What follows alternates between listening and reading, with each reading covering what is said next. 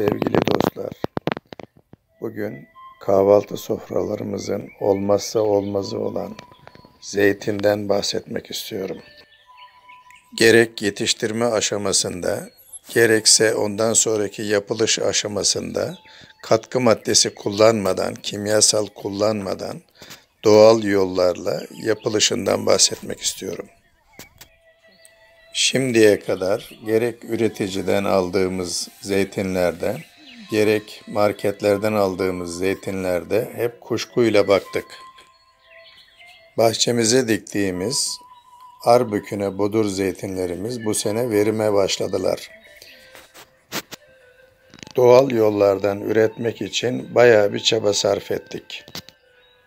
Yeşil renkten siyah renge dönünceye kadar dalında beklettik.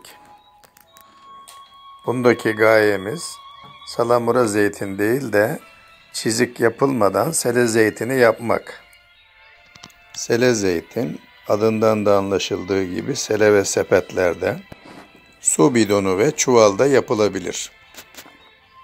Tuz oranını düşük tuttuk.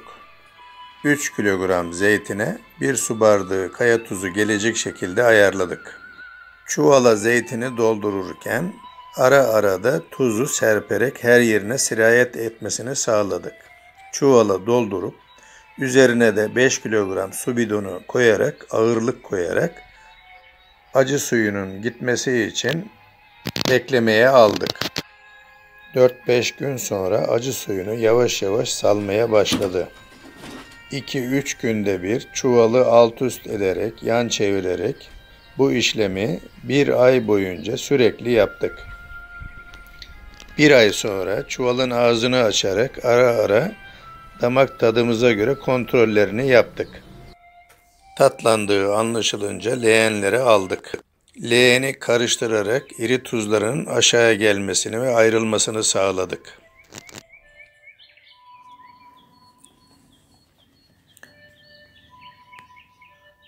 Suyun altına tuttuk. Yine tamamen çözülmesi için tuzun büyük kaplara alarak 3-5 gün suda karıştırarak ve suyunu süzerek beklettik.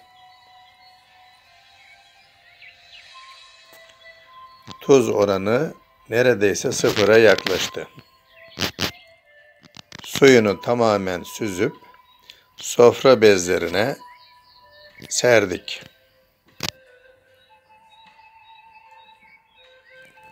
Ara ara karıştırıp neminin tamamen gitmesini sağladık.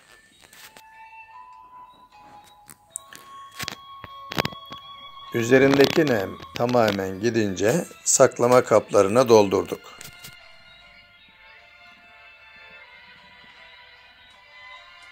Her bir 5 kilogramlık saklama kabına bir bardak zeytinyağı ekledik. Kapaklarını kapatıp çalkalayabilirsiniz. Mutfağınızın serin yerinde bekletebilirsiniz. Artık tüketilmeye hazırdır. Yapıp sağlıklı günlerde kullanmanız dileğiyle. Hoşçakalın. Allah'a emanet olun. Sağlıkla kalın.